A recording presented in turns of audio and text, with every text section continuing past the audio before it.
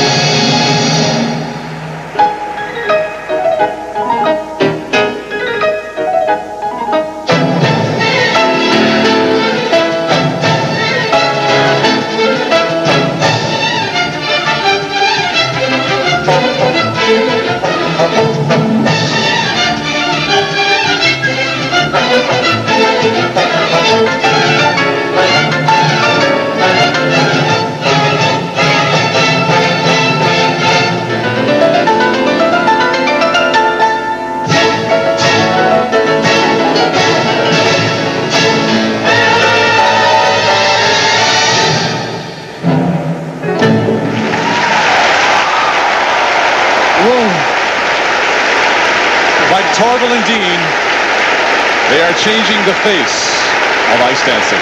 Bestemianova and Bukin.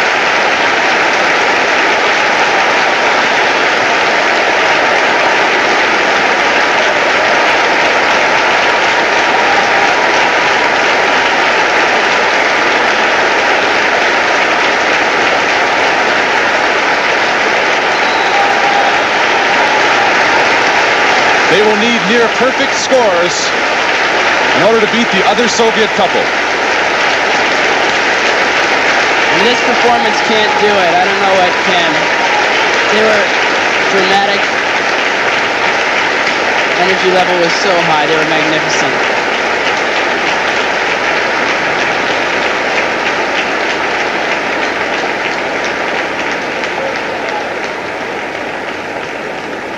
It's interesting they've been they've been criticized in the past for using too much drama in their performances. As Torvill and Dean were criticized for many of the things they did in Ice Dance. Technical merit, the scores are much higher than Klimov and Ponomarenko. Five nines and five eights.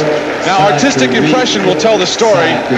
And as I mentioned before, that's where Bestiaminov and Bukin are at their best. Arti oh! One, two, three, perfect six O's. Two five eights from the British and the Canadian judge. Those marks are great, but it's going to be close. It could come down to one judge. One more look at the balletic, dramatic figure skating moves of ice dance. Bestiaminov and Bukin.